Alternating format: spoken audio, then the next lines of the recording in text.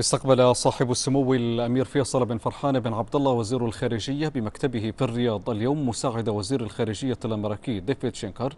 ونائب مساعد وزير الخارجية الأمريكي لشؤون الخليج العربي تيموتي ليندرنكينك وجرى خلال الاستقبال بحث مجالات التعاون المشترك بين البلدين الصديقين وأبرز المستجدات الإقليمية والدولية ذات الاهتمام المشترك.